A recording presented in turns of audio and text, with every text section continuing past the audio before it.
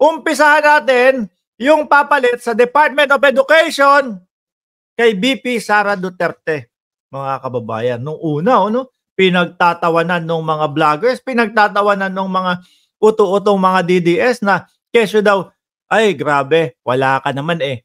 Um, yung inyong inyong rally, no?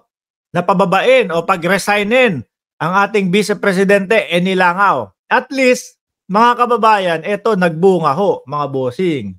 Ano, nagbunga at nalaman ng taong bayan at nalaman din ni BP Sara na hindi siya epektibo ho, mga kababayan.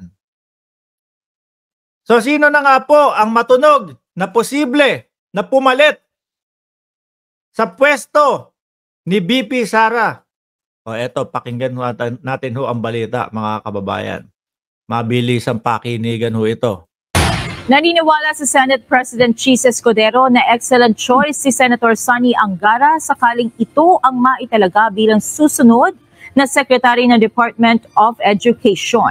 Sa isang text message, sinabi ni SP Escudero na highly qualified si Senator Angara sa posisyon. Natanong na Alam niyo po mga kababayan, iaaminin ko, ano, hindi ko na tinignan o late na talaga yung panahon natin kung ano yung uh, background ni Senator Angara lalo na pagkahawak niya o pagka siya na ang Department of Education Secretary kung sakali no kung ano yung um, magagawa niya sa Department of Education. Hindi ko na nakita yung background kasi late na nga po tayo mga kababayan. Sabi dito ni Chis Escudero, Yes, I believe so. I was asked by some people close to PBBM who I thought would be a good replacement for BP Sara at Department of Education. And the only person I thought of and mentioned was Senator Angara. Sabi po ni Chis Escudero. So mga kababayan, yung pagpapasigaw natin o yung pagsigaw naman po natin ng BP Sara, resign, ano po, dyan sa Department of Education, hindi naman po ibig sabihin yun, ay galit kasi kami kay BP Sara kaya ayaw namin. Ay, binabanatan nyo kasi si PBBM kaya ayaw na namin kay BP Sara. Mismong sa kanya po nang galing yung pag-amin na hindi niya kayang, ano, hindi niya kaya yung Department of Education na patakbuhin po. So ngayon, mga kababayan, dahil po alam natin na napaka-importante po ng departamento na iyon, napaka-importante po ng, um, ng edukasyon sa bawat Pilipino, eh kailangan yan mabilisang lunas ho mga kababayan. Kaso ang nangyari po nung naupo si BP Sara eh umpisa pa lang po silang nag-aaral, pinag-aaralan kung paano patatakbuhin o kung paano tumatakbo yung Department of Education. Late na late na ho tayo mga bossing. Ang kailangan natin dito ay eh, yung isang tao na talaga naman kapag kaupo, ano, nandun na siya sa level na okay, ganito gagawin natin, ganito gagawin natin para makasabay tayo sa Singapore at kung sa kahit sino pang mga es- eskwelahan sa buong mundo para yung mga kabataan natin, no? Yung mga estudyante natin ay maging matalino sa bawat mga desisyon na gagawin nila. Kung si Senator um, Angara ay siya na yung tao na talaga namang maiaangat ang antas ng edukasyon sa Pilipinas, mga kababayan, hindi tayo kukontra dyan mga boss chief amo sir. At base nga po sa mga nababasa ko sa inyong mga komento, mga boss chief amo sir, at sa komento, ano ho, na ngayon Senate President na si Chis Escudero, eh bakit tayo tatanggi? Eh di subukan natin, mga kababayan. Ganun lang naman po yun. Ang kailangan natin, agarang lunas, hindi yung ah, pag-aralan muna natin kung paano patakbuhin. Saka tayo ganito, ganyan. Eh baka tapos na po ang termino ng uh, vice presidente eh saka pa lang nila sasabihin, okay, next step na tayo. Doon na tayo sa mga ano, sa mga pampagandang project, doon na tayo sa mga tipong makikita natin ano na talagang masusolusyonan yung kakulangan sa edukasyon. Second choice, if representative um, si Stella Kimbo yan, ano, mga kababayan, ang isa sa congresswoman ng Marikina. Watching from London, Wilfredo Melgerito. Why not Attorney Lenny Robredo? Isa din po yan mga kababayan sa iniisip ko.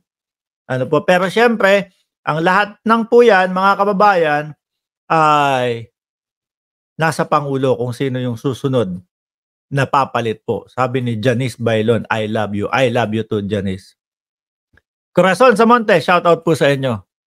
Oh.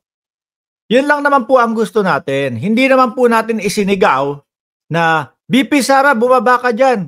Kasi ayaw namin sa'yo. Kasi binibira nyo o yung pamilya mo ang ating presidente ngayon. Meron tayong ibig sabihin ho, mga kababayan. At meron talaga tayong nakitang kumbaga kakulangan ng BP. Kaya naman tayo sumigaw po. Pero sa vice-presidente, ay hindi naman po natin pinagre-resign ang vice-presidente, mga bossing. Bakit? Eh halal ng taong bayan yan. Respeto na lang po. Sila lang yung hindi marunong rumespeto ano, sa ating presidente na pilit pinapabagsak ang gobyerno ng Pilipinas. Pilit pinapababa ang presidente eh baka may gustong mga takpan ho talaga, mga kababayan. O tuloy ho natin ha. Na rin anya siya tungkol dito ng isang tao na malapit sa presidente at sinabi niyang pwedeng maging kapalit ni Vice President Sara Duterte si Senator Angara sa DepEd. Nauna nang sinabi ni Pangulong Ferdinand Marcos Jr. na iaanunsyo niya ngayong linggo kung sino ang susunod na DepEd Secretary matapos Ayan. Um, this week na, mga kababayan, yung announcement. Nako, ano kaya sasabihin ng mga DDS? Ano kasi nung una, pinagtatawanan nila eh. Tapos nung nag-resign na, iba na ho ang mga sinabi. Oh, pabor kay Inday Sara Duterte yan. Kasi eh, ang gulo-gulo naman ng pagpapatakbo ng gobyerno ni Marcos Jr. Ganun na buho ho sila bigla. Eh nung samantalang nung una, yung hindi pa bumababa, hindi pa nagre-resign. Kala nyo ba mapaparesign nyo? Si BP Sara dyan sa Department of Education tapos iilan lang kayo, eh 800 lang kayo. Eh kung kukumpara mo yun ngayon doon sa mautog nila, mga kababayan, parang ano, pang half court na lang po ng basketball eh. pang half court na lang po ng basketball, mga boss chief amo sir. Oh. Or si Madam Carlos, um, sino ba ang pangalan ni ano ni Konsehala Carlos ng Marikina. Hmm. Anyway, mga boss, lumipat ho tayo at ibabalita ko pa din po sa inyo yan mga kababayan, no? Kung ano ang magiging progress at kung sino ang itatalaga ng ating Pangulo ngayong linggo bilang DepEd Secretary. Lumipat ho tayo mga kababayan sa susunod natin topic.